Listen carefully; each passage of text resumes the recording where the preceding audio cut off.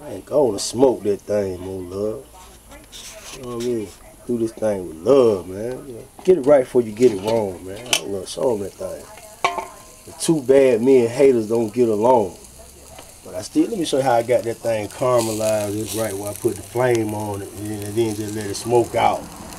You know, you really don't need salt, but I got some because I make pretty good barbecue sauce too. Your boy More Love More Power, aka Way Too Real Dick O'Neal doing what he do, you know what I mean? Acting a fool on the grill, you know what I mean? Preparing to suck on these bones, lick these fingers, you know what I mean? Finger looking good tight, but ain't no Colonel Sanders going down here, cause you know Colonel Sanders, he really stole